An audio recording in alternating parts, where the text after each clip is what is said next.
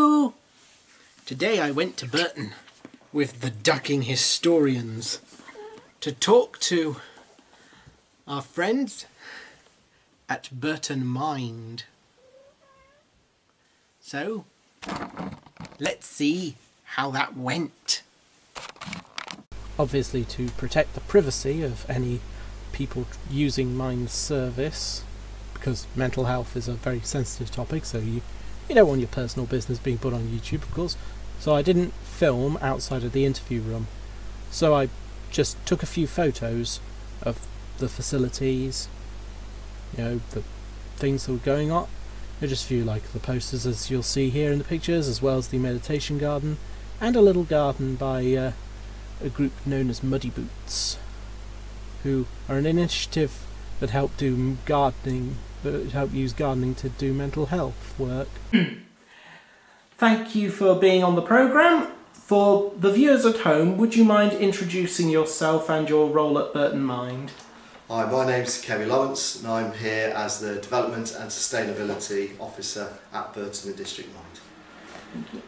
Um, what would you say are the main challenges facing mental health work? Um, we're in, mental health is always in an ever-changing state in terms of mental health services and mental health charities.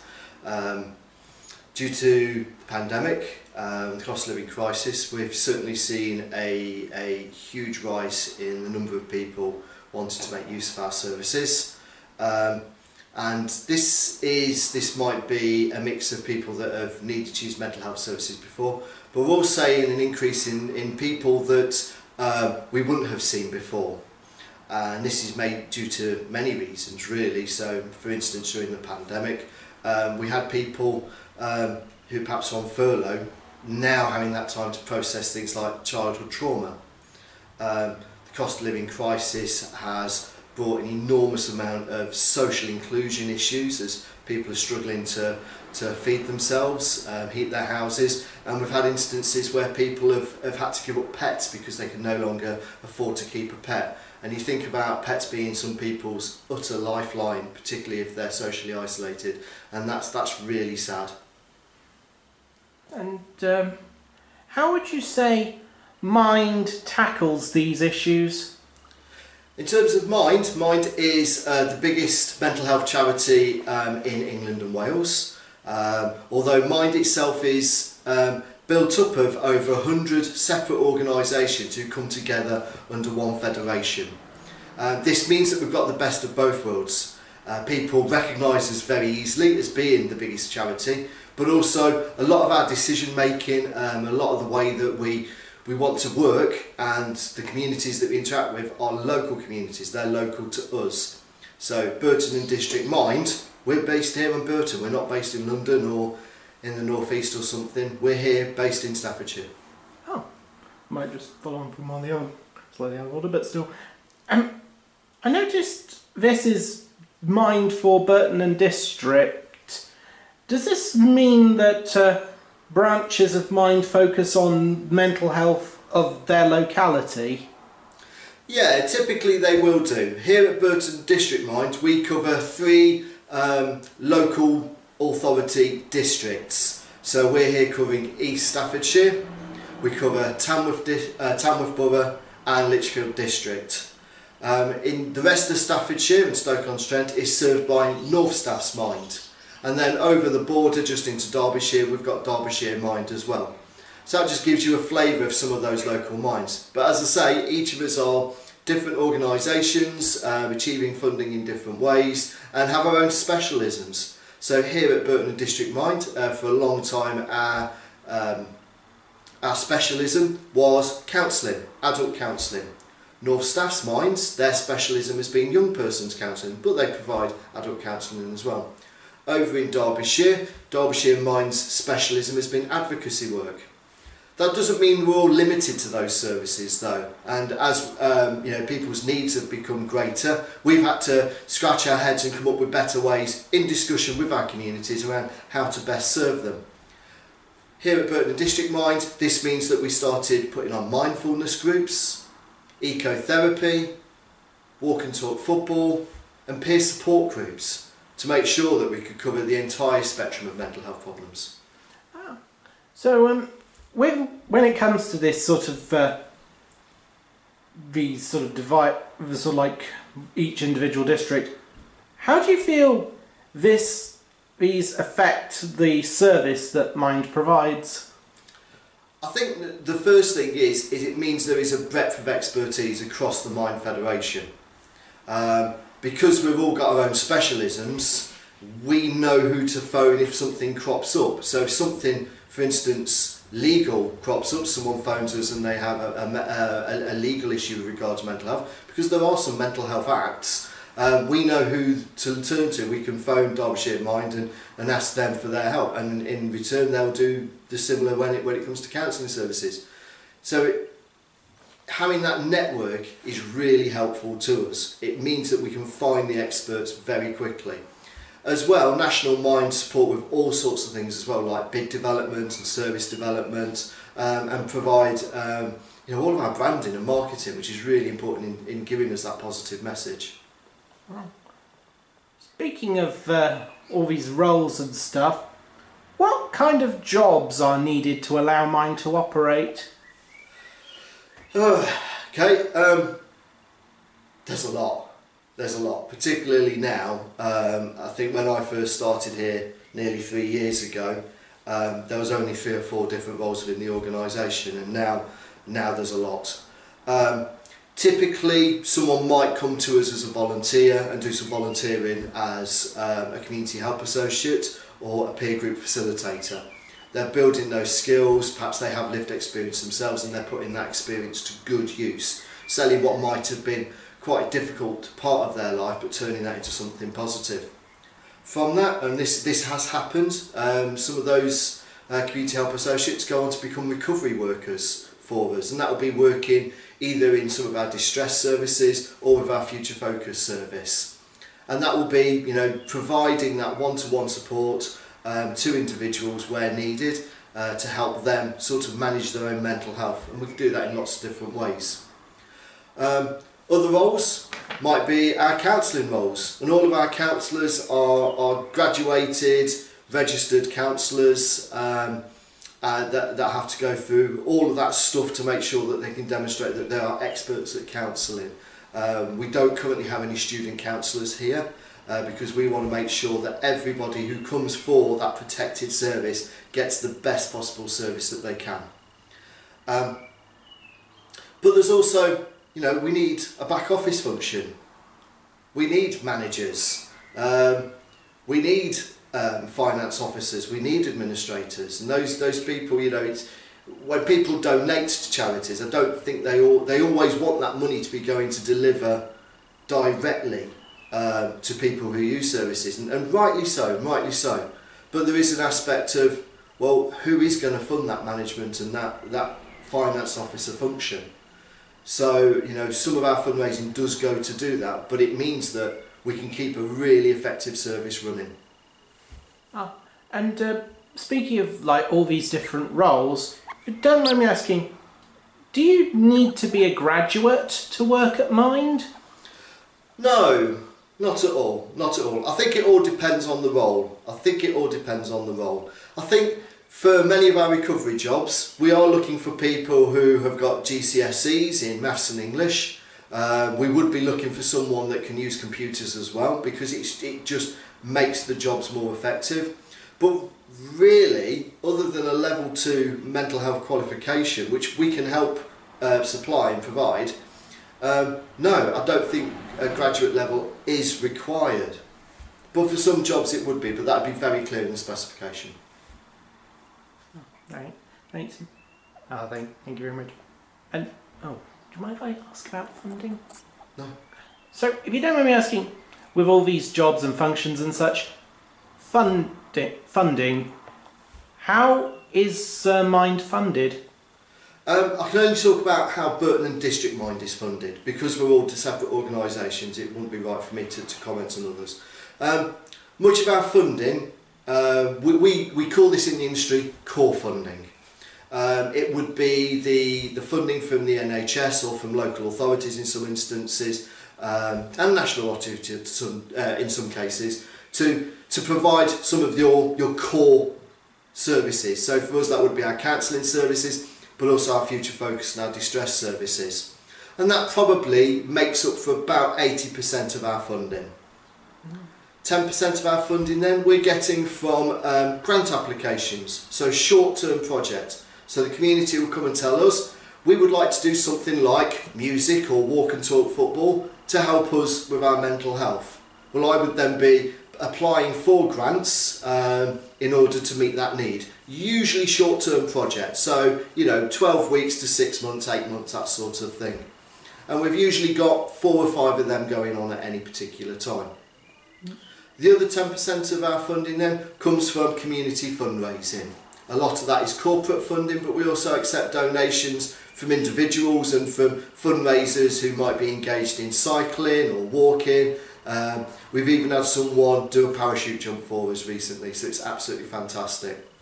Um, we have had a grant from National Mind to pay for a, um, uh, a fundraising um, coordinator. So um, our member of staff, Steph, is employed two days a week, not funded by our community fundraising, but funded by grant from Mind, in order to make sure that we've got someone who can be there on hand to support anyone who would like to raise funds for us. Ah, thank you. Now, so uh, we're just wondering, because of course Burton on Trent is a very diverse kind of society, and do you feel that there are some groups in society, either in Burton or perhaps widely, more widely, who face extra barriers when it comes to accessing mental health care? Ah, absolutely.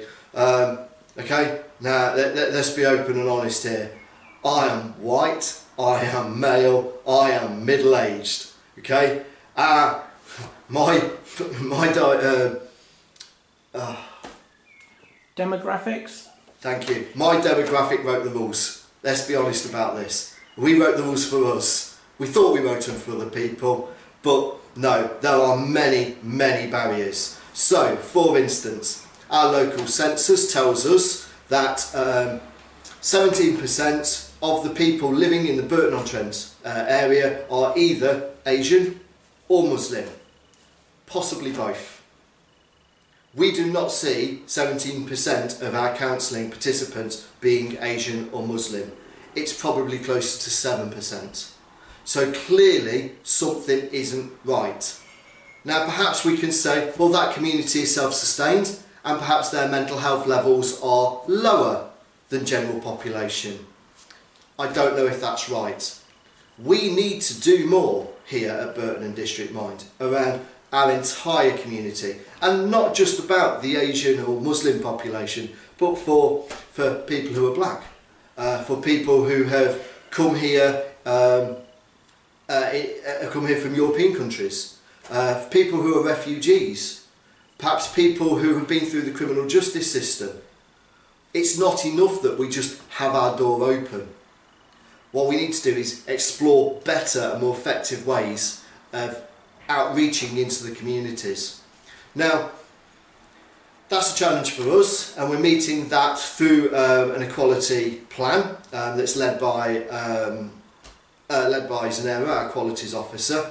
Um, and also, we've we've been lucky to uh, win a contract with the Alzheimer's Society as well in trying to address some of this need that we have for over 65s across southern Staffordshire and that's a, a, contract that we're launching very soon. Oh. So, well, thank you for talking about the participants. So, if you don't mind me going on to the other side of that, about um, when it comes to people who are providing the mental health care, are there any um, types of, say, demographics, genders, sexualities, ethnicities, and so on that you would like to see more of in providing mental health care? Um, I think we've got a, a, very diverse team here at Burton and District Mind. Um, it's certainly not a case of we would favour people because they belong to certain demographics. Everyone is employed here on merit. Um, and I think we have got a good team. Um, you know, we, we've got people who, who would identify as Asian. We've, we've got people who would uh, identify as, um, as homosexual. Um, I'm not sure where any gaps are. I think I think for me, um, having lived experience of mental illness, that perhaps to the point where that's disabled you in your past, I think for, for us that that's it, it, it it's not a barrier for us. Um, I'm not saying you can't have that empathy if you haven't had that lived experience, not at all. But there is some added value in the fact that we, we can support people here to turn some of what was a dark or, or, or distressing part of their life and turn that into a positive here. Um, and with lots of wonderful examples, myself included, of, of where we've done that. Oh, thanks. Uh, and just quickly, if you don't mind me asking, because there's often a thing about men not shouldn't how it's seen as emasculating to seek to seek help for mental health. What would you say to someone who feels like I, you know, I want to seek mental health, but I'm worried about what the other guys will think of me and whether I'm like going to be seen as less manly or less able to cope and stuff? Um, it's interesting, isn't it? You know, I've, I've been working in mental health services now for about 15 years now. Um, and typically when we, when we go out to a, a mental health group, although they don't exist in the same way now, um, we typically see a third of those groups being men and two thirds of those groups being, uh, being women. When you go into inpatient services, it's flipped the other way. It's two thirds men and one third women.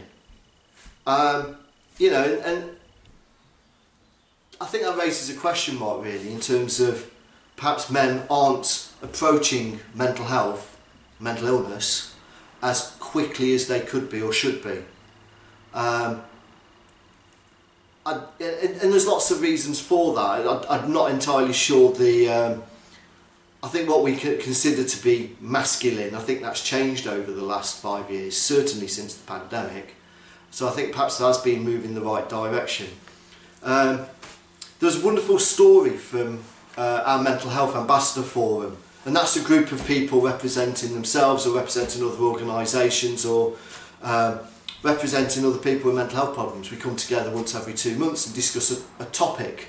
Um, and the topic at the time being discussed was the pandemic. We, we'd just come out of lockdown. And um, this, this gentleman who was uh, in his late 20s, he was talking about how him and his friends, male friends, had gone up and did some basketball. Got, got together for the first time since, the, since lockdown and played some basketball. And after they you know, participated in that exercise, they then sat down and just started having a chat. And the chat turned into a discussion about feelings and emotions. And that was quite an open conversation. Uh, and, you know, they exposed some vulnerability. And all was great until someone pointed that out and said, and, I, probably won't quote it correctly, but something along the lines of, um, wow, look at us talking about feelings and for a moment the magic went as everyone recognised their vulnerability. But then somebody else went, well, it's, that's okay, isn't it? And perhaps we should do it more often. And then there was an agreement around around that, that circle of friends to, to actually start being a little bit more open about their thoughts, feelings and behaviours. Um, and that can only be positive. What we learned from that is exercise is the catalyst. So that's why Walk and Talk Football, that's why we started delivering that. The community were asking of us and we could see, based on the anecdotal evidence, um, how that would work. And we had, um, we, we had, I think it was 27 people take us up on our offer for Walk and Talk Football. And these are people that would have probably have never seen in any other way with you know mindfulness or ecotherapy. Perhaps that didn't connect with them, but the, the Walk and Talk Football did. We're following that up with an application um, in order to do bat and chat cricket um, and to, to really kind of um, yeah learn from all the positives that came out of that walk and talk football. Um, I hope that's helpful. But yeah, definitely, men, please come talk to us. We are listening. Together, we're going to find you help. Oh, thank you. And uh, so, if you don't, so I was just saying, um, what would you say is the uh, main strategy for tackling the mental health crisis? From ourselves or as a community? How would you like to answer that? Well, from say we'll start with the um, Burton Mind. Okay, So, Burton and District Mind, um, th- there's a couple of things that we've done internally in terms of trying to think about some of the, the, the challenges that we're faced with. Um, first of all, we have to acknowledge that there is a sliding scale, a spectrum of mental, of, of good mental health and then poor mental health. Um, and that spectrum slides through uh, excelling, thriving, surviving, struggling, distress, and crisis. There may be more, but that's how we've split it up. Um, across that, then, we're also exploring four spheres of determinants of mental illness. So, considering biological approaches, considering psychological approaches, considering social approaches, and considering spiritual approaches. Now, spirituality doesn't necessarily need to mean faith or religion, but for some people it can. For other people, it is just about asking that wider question of who I am, what's my identity. So, for some people, they get as much out of, say, football or having pets as a religious person would from, from going to a church, temple, um, or a mosque. Um, so, but looking at those four spheres and breaking that apart gives us it gives us a, a better way of having the conversation in terms of how we can help people. So certainly um, our Future Focus service, which deals with some of the most vulnerable people in our community, as I say, have been disabled by their mental illness in the past. Um, there's a lot of focus around um, around social interventions, so perhaps supporting them to make sure that they are eating enough, to make sure that um, that their house is their, their house is not at risk of being taken away from them for any reason. Um, but he also supports sort of like the more spiritual things. So getting people out of the house and getting them to do more with their community, with other local charities or other things that's happening right sometimes just down the road that they've not considered before. And so, uh, if you don't, and so thanks for that. And we're just wondering, sort of like, in say more broadly, would you say that uh, there should be a focus more on sort of like um, person centric, on a person centric approach to mental health, or is it more like a broad social issues based problem? We're only ever going to tackle anything genuinely by by being as person centered as possible. That that comes with the challenges, uh, particularly when you you know you're, you're having to to demonstrate um, facts and figures and, and hit targets and and the rest of it. So we're constantly you know trying to find where that middle ground is, making sure that we remain person centered. And what we mean by that is genuinely and authentically asking that person what they want from our service and then working out the ways that we deliver that. Because for some people, medication is the key, but we don't provide medication here. We leave that for the experts in the NHS. For some people, it might be. Um, so, I'll give you a good example of, of Gemma on our Future Focus contract. Um, I asked her, you know, bumped into her in, in, in the kitchen, said, What are you up to today? She says, Oh, I'm learning how to knit. And I was like, okay, how does that fit into anything? And she was like, because my participant wants to go and join a knit and natter group. That's her aspiration. But she doesn't know how to knit and is worried about looking silly because she doesn't know how to knit. So if I can teach her the basics, it will give her the confidence to attend that group. That's genuinely person centered. Oh, thank you. So, uh, what role do you see mind playing in the future development of Burton on Trent? That's a good question. Um,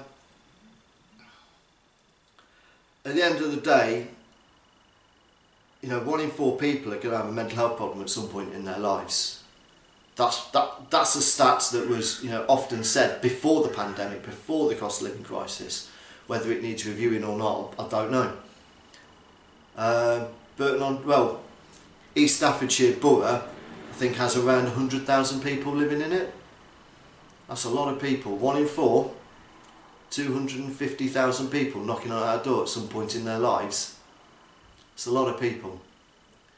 Um, we have made moves, we will continue to make moves to keep mental health on the agenda for as wide as we can.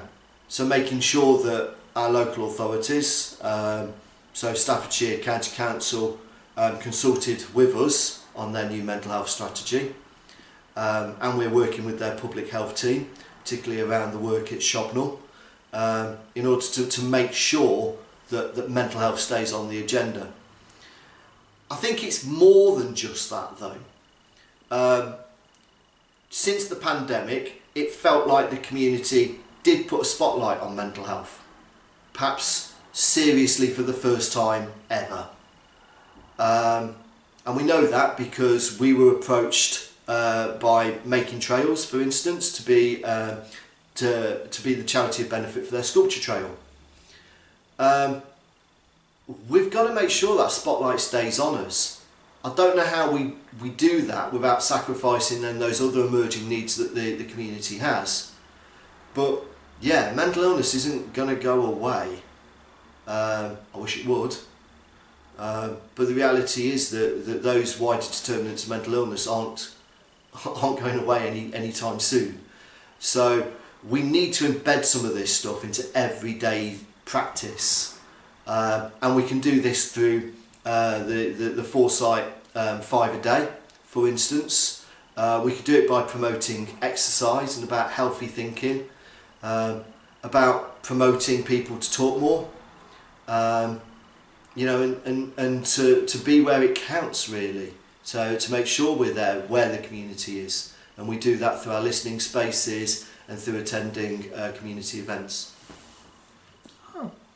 And um, do you feel that uh, these could be replicated in other communities, or and how would you recommend? If you would recommend, because after all, sometimes things are unique to certain areas. But what? How would you rec- How would you say other communities should be um, moving forward with addressing mental health? Um, you, you're right in saying that um, every town, every locality is, is unique to itself. Um, so I think really uh, all you can do is apply almost like frameworks of development rather than trying to apply the same solutions.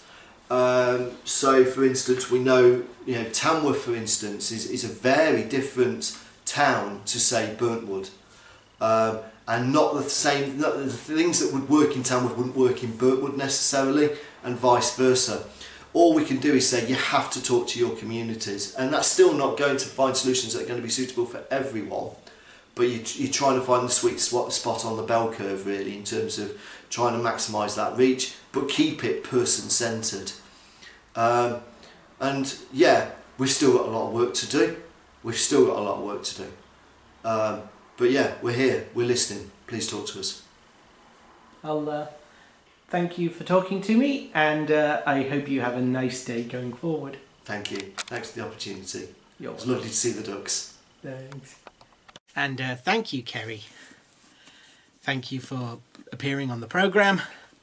And thank you for being so supportive and kind in the production and giving the audience a good insight into how mental health charity works. Works at least here in at least in Burton and this district. Well, uh, thank you everybody, and whatever your mental health needs, whether you're feeling okay, whether you're in crisis, whether you're thriving, somewhere in between, it was lovely having you here.